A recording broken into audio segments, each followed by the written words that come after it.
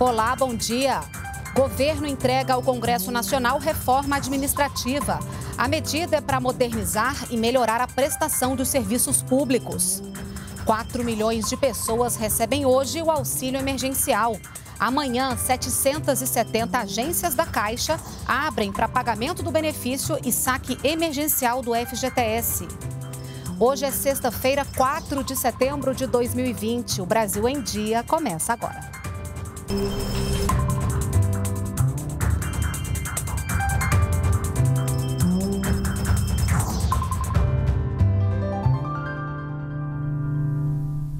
São 9 horas e 45 minutos. Nós estamos ao vivo também pelas redes sociais.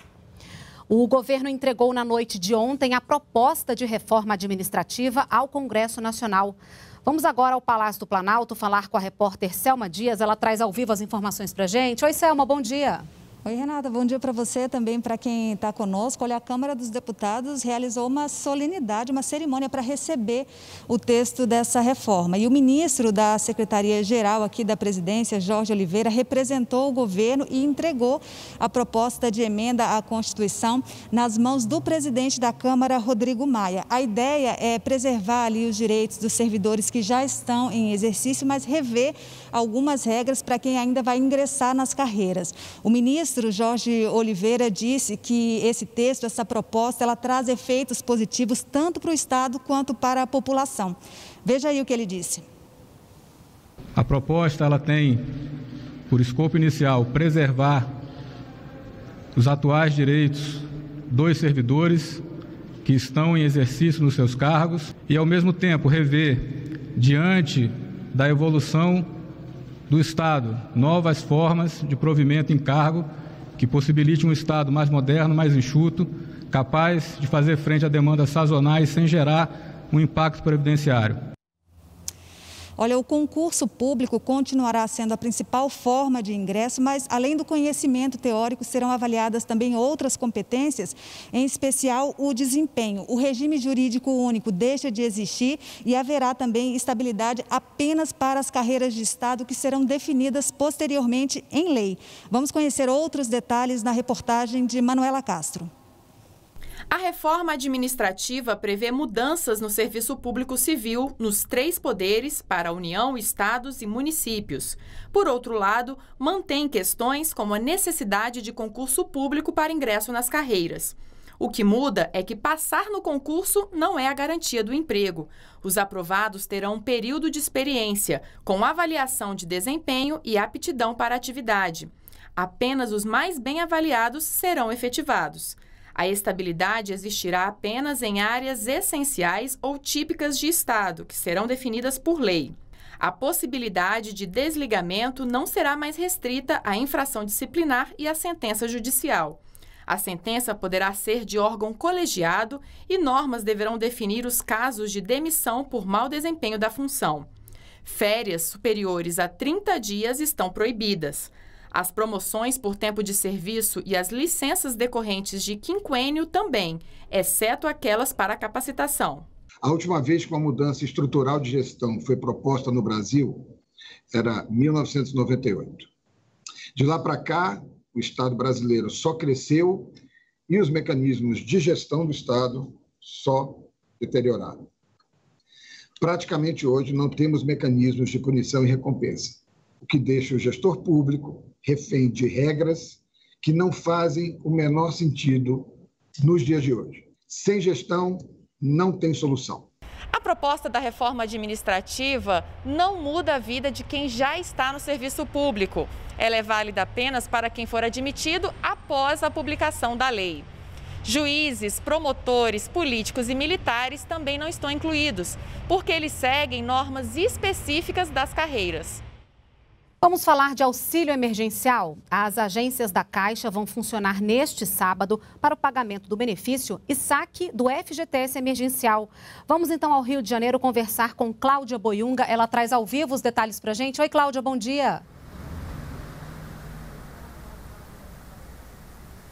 Bom dia, Renata. São 770 agências da Caixa que abrem este sábado em todo o país. Só que no estado do Rio serão 78 agências. O, o funcionamento das agências será de 8 da manhã ao meio-dia. Podem sacar o benefício os beneficiários que recebem, que fazem aniversário de janeiro a setembro. Já o saque do FGTS emergencial pode ser feito para aqueles trabalhadores nascidos de janeiro a abril. A lista completa das agências que vão abrir este sábado está no site da Caixa. E hoje, mais de 4 milhões de trabalhadores recebem auxílio emergencial como crédito na conta Poupança Social da Caixa. São os aniversariantes de março. Para quem quiser consultar a situação do benefício, é só entrar no site auxilio.caixa.gov.br. Renata, volto com você. Obrigada pelas informações, Cláudia.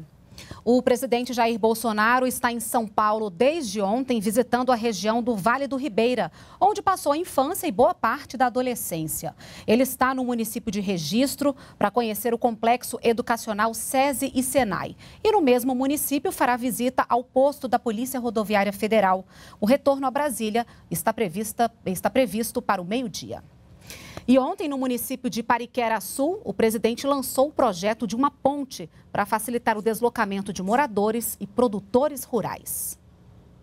Pariquera Sul fica na região do Vale do Ribeira, ao sul do estado de São Paulo, região onde ele passou a infância e a juventude. E o presidente fez questão de lembrar o tempo que ali viveu. Meus pais tiveram sete filhos, não passamos necessidades, né? tínhamos uma vida tranquila, sete filhos, hoje em dia seis vivos, minha mãe viva também. É uma prova que todos nós podemos atingir o nosso objetivo. O presidente foi até Pariquera Sul lançar o projeto de construção de uma nova ponte que dá acesso à cidade. Quase 15 milhões de reais serão investidos pelo governo federal. A obra deve começar no primeiro trimestre do ano que vem. 2.500 eh, metros, né? De via nova para ser implantado aí na, na avenida, com pavimento de concreto, projetado de uma forma moderna e que vai durar aí mais de 30 anos. Essa via é muito utilizada para quem vai em direção ao litoral do estado de São Paulo. A nova ponte vai ser construída exatamente ao lado desta. E a ideia é que ela traga mais vazão e segurança ao trânsito. Isso porque agora serão duas pistas, cada uma numa direção. Além disso, a ideia é que a obra traga também desenvolvimento para a região do Vale do Ribeira. Uma mão para quem vai, outra para quem vem, ele vai facilitar bastante para a nossa cidade. Eu acho que vai ficar legal vai ficar bom. Com essa nova ponte, vai distribuir melhor o trânsito, vai ficar melhor. O Brasil alcançou o índice de mais de 80% de pessoas recuperadas da Covid-19.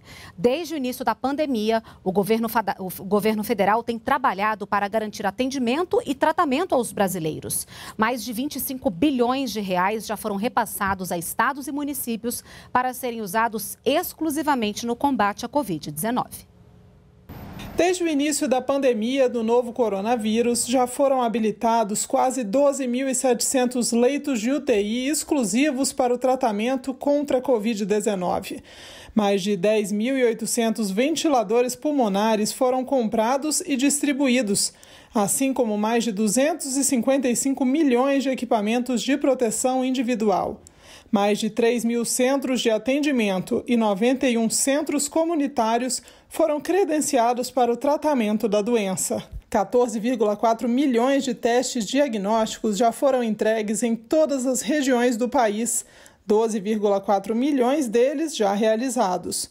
O governo federal já distribuiu por todo o Brasil mais de 20 milhões de unidades de medicamentos, entre os usados para intubação e cloroquina ou hidroxicloroquina. Nosso estoque de cloroquina ele está zerado e que nós estamos distribuindo, mediante demanda, a hidroxicloroquina que nos foi doada pelos Estados Unidos pelo laboratório Novartis. A saúde indígena também recebeu atenção.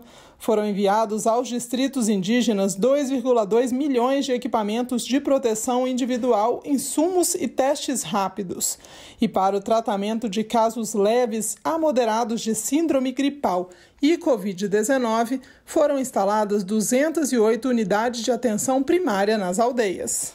Essa estratégia prevê, na realidade, um suporte de oxigênio e atendimento 24 horas, além de propiciar aos indígenas aldeados a permanência dos mesmos nas aldeias. Então, é uma importante estratégia que foi é, condicionada para dar mais conforto e uma atenção mais especializada para o combate dessas, dessas complicações.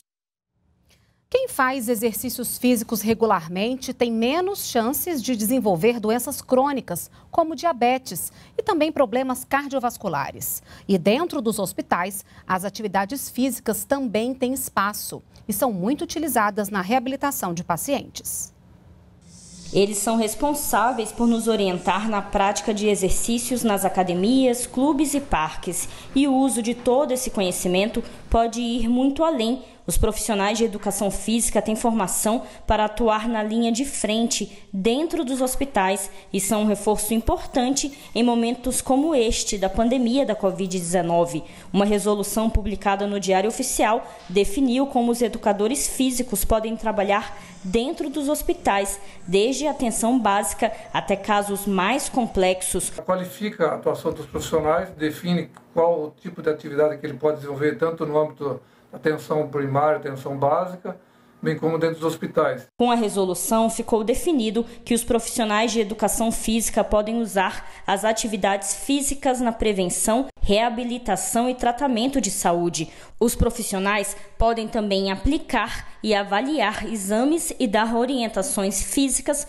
sobre o exercício mais indicado para cada situação.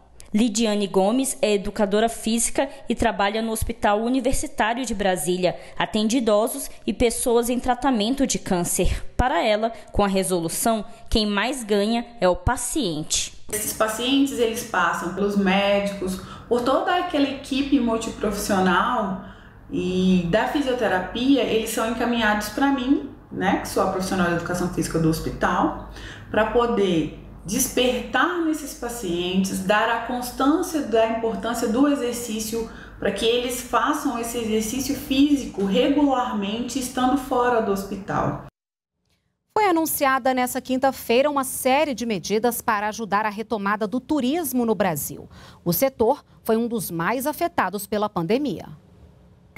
O Plano Nacional de Retomada do Turismo prevê a proteção do emprego e da renda, sem deixar de lado a segurança dos turistas e trabalhadores do setor quanto à contaminação pelo coronavírus. Nós focamos em dois itens que estão expostos aqui para vocês: segurança para o Brasil retomar o turismo seja segurança da biossegurança, segurança de investimento, segurança na, na, manutenção dos empregos, segurança na estrutura para que a cadeia produtiva do turismo não pare e empregos é o outro foco, manter a emprego e renda. Segundo o governo, a opção da maioria das pessoas neste momento deve ser viagens curtas de carro ou ônibus. E com a chegada do verão, o governo também vai intensificar ações que incentivem o turismo nos destinos com praia e natureza.